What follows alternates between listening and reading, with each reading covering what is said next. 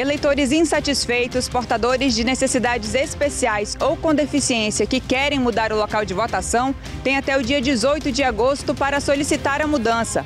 Antes de iniciar o procedimento, é importante apresentar um documento digital com foto, comprovante de residência recente, comprovante de débito com a Justiça Eleitoral e comprovante de quitação com o serviço militar no caso de homens com idade entre 18 e 45 anos. Também é necessário tirar uma foto com o documento ao lado do rosto. Para isso, é necessário também, por fim, acessar o título NET.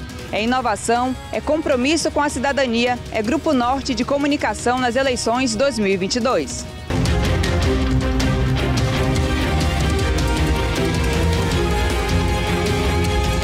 Grupo Norte de Comunicação. Eleições 2022.